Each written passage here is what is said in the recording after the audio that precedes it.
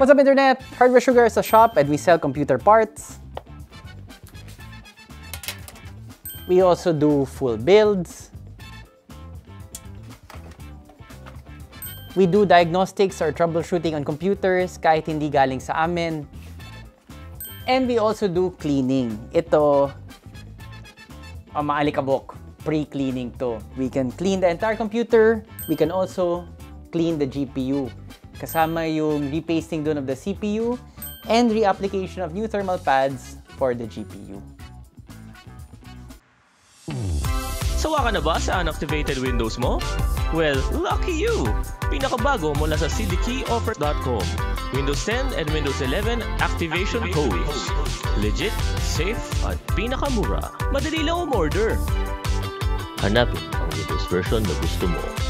Piliin ang preferred payment method. Wala pang 5 minutes, nagsiligi ka na para sa Windows mo. Marami na kaming natulungan.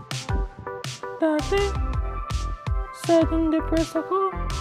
But now, I found the love of my life. Dati, aimless and walang purpose ang life ko. But now, I'm a world-class Zumba instructor. So, web developer ako and content creator for a YouTube channel. And ngayon, ganun pa rin ako pero activated na yung Windows ko.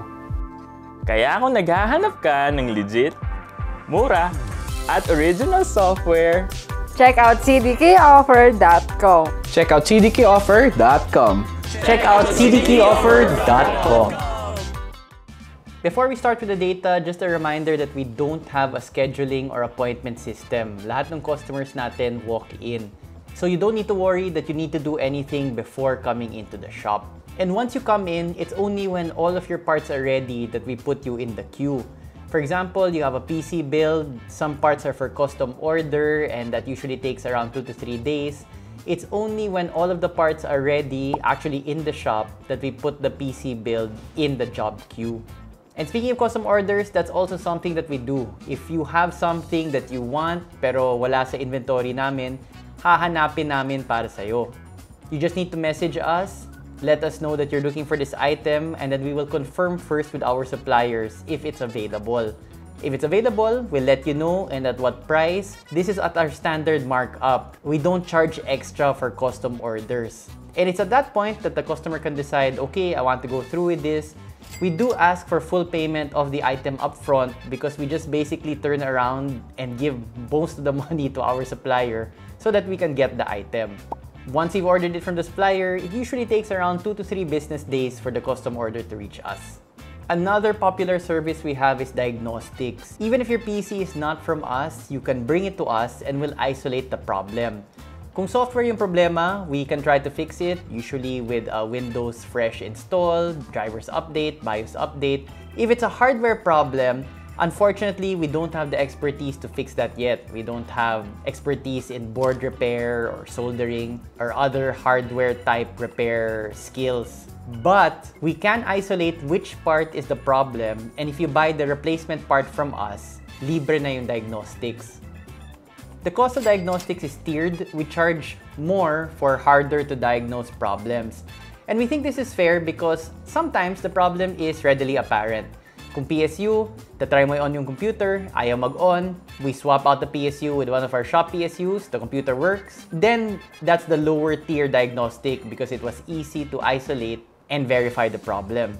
But as you know with computers, paminsan stubborn lang talaga sila, frustrating, whatever you do, they just don't want to get fixed. And we've had diagnostics like that na the customer has to be a bit patient because we are really working the problem. We're testing all of the components, we're trying different scenarios.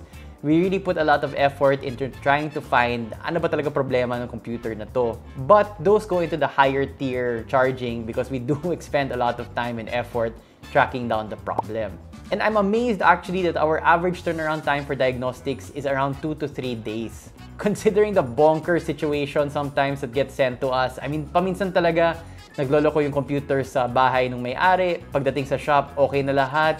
There are really these kind of edge or niche cases that we smash our heads against the wall trying to think ano ba problema ng computer na to. But even with those extreme cases, we're usually able to diagnose a problem within 2 to 3 days. Of course, we do full builds as well, and the completion time for that is less than a day once it enters our queue. And that's the same average completion time for our cleaning and cable management service, which is also very popular. Again, hindi kailangan nagaling yung computer sa amin, pero may discount kung old Hardware Sugar customer ka na. But wherever you got your computer, you can bring it to us and we will break that guy down. Every component, we strip, we disassemble the computer, remove all of the dust, put everything back in place, and then do our cable management. Sobrang critical ng mga tao online. But even most people online appreciate our cable management. And so, even with an old computer, pagbalik sa'yo, parang bago. Better than new, depending on sino bumuo ng computer na yun dati. A lot of our customers opt for both CCM, cleaning and cable management, and DX or diagnostics. Kasi yung thinking is, well, sira computer ko, papadala ko, ayusin nila, ipalinis ko na rin. Total, nandiyan na rin sa shop. And again, this completion time can be very variable because it depends on the problems that we need to diagnose. But actually, on the average, CCM plus diagnostics, we can get it done in one day. We've seen a trend where the people who want CCM plus diagnostics, it's fairly easy to diagnose what the problem is with their computer.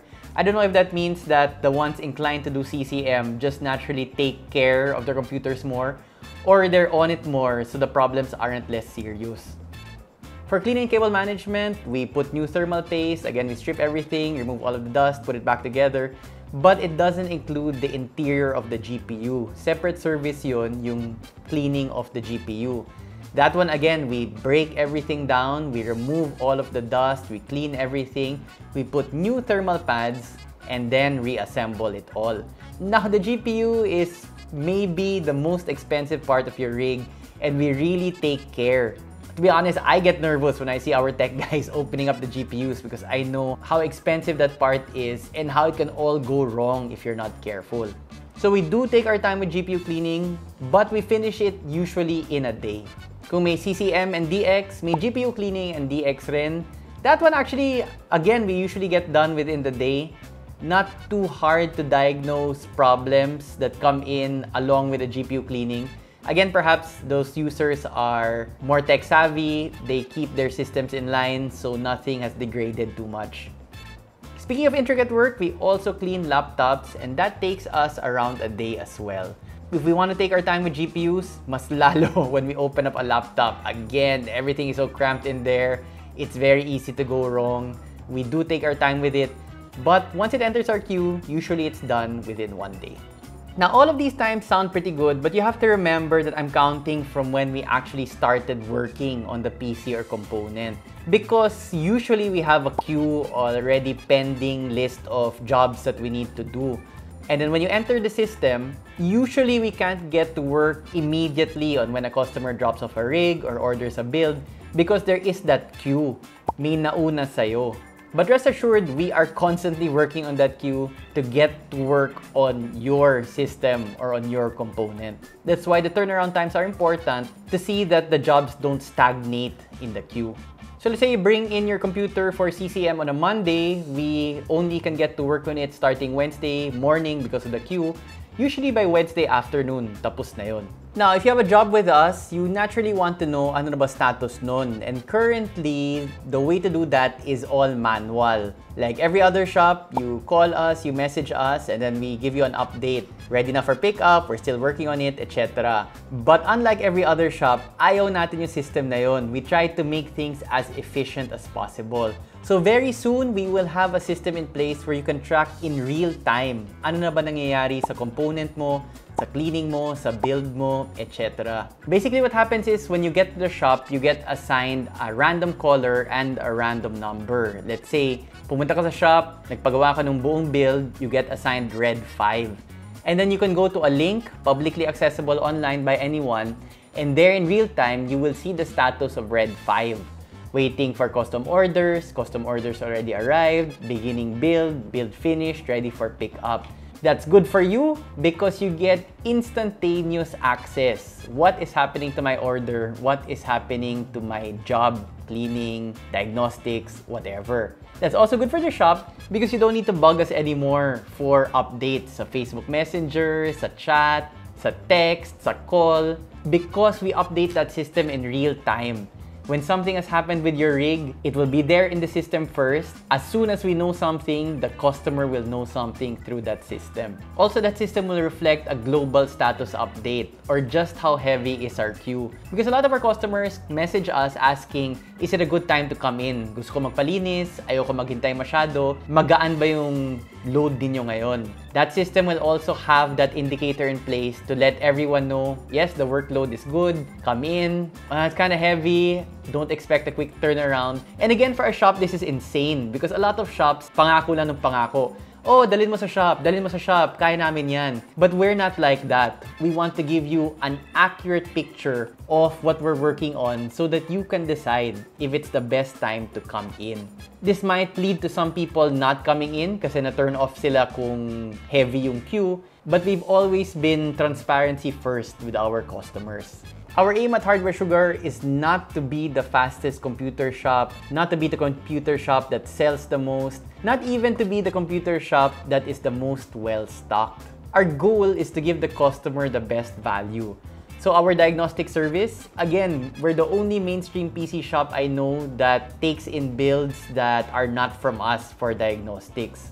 Our cleaning cable management, we take a really old PC and we can really make it look like new. So, hindi namin tinutulak yung bago, bili ka ng bago, kailangan mo ng bago, just for the sake of getting a sale. A lot of the time, your current hardware is still good. And part of giving value to customers is keeping them in the loop. Kamusta na ba yung part mo? Kamusta na ba yung rig mo? And ensuring that each hardware gets the sweetness it deserves. Thanks for watching. Paminsan may nagtatanong kung may kilala ba kaming computer shop na trusted, yung hindi ka lolokohin. Actually, meron. Kami. Full service PC store ang Hardware Sugar. Nagbabenta kami ng PC components. Nagbabenta rin kami ng fully assembled rigs. We clean computers. Kasama na rin yung excellent cable management namin and CPU cooler repasting sa cleaning. We also clean and repaste GPUs. Nasa Makati yung physical store namin and you can also buy from our site www.hwsugar.ph na 100% palaging up-to-date yung inventory dun. Kung in-stock yung item sa amin, available yun sa site. We also ship nationwide. Thanks for watching and maybe one of these days, magkita tayo sa shop.